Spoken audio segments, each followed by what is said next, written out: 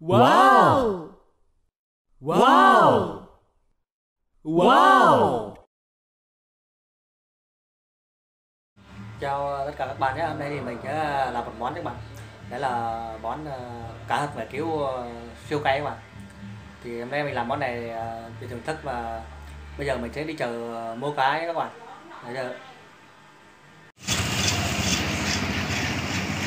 Thế các bạn, thấy giờ là mình ờ, đi mua cá, cá về về làm cá ờ, tay luôn. Đây là chủ quán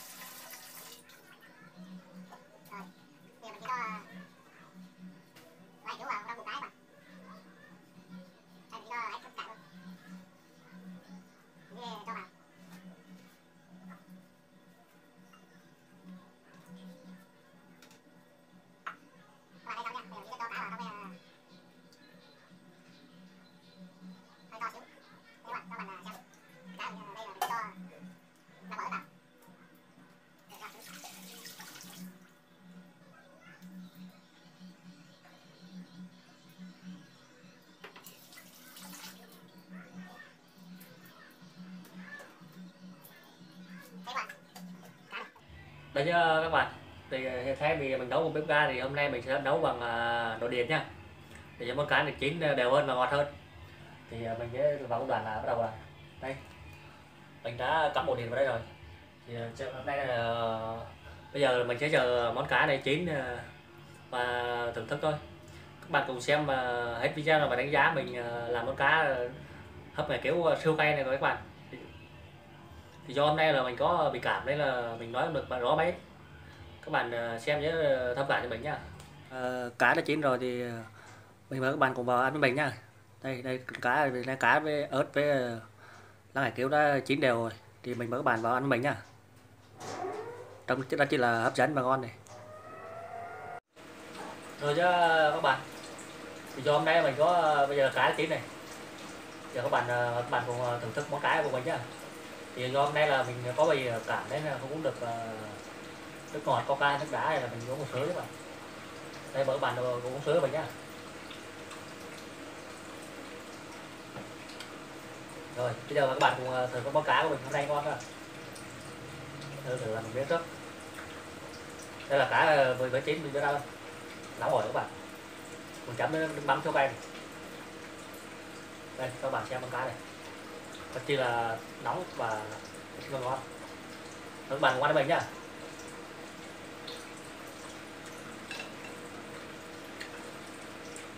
Chỉ là ngon. Thịt ngọt và cay. Và mùi thơm của lá này kiểu với bạn. Đây là kiểu này. Mình đã bỏ 10 vỏ hết vào đây. Vậy là một ký ờ, một ký ờ, kéo và mình có chuẩn bị một ít uh, ờ, đây là khế này. Khế là, là dưa leo ấy, mình ăn trong canh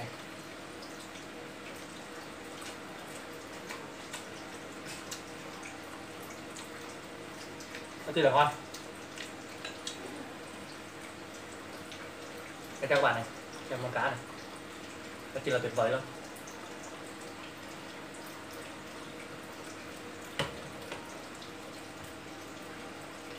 rất chi là béo các bạn.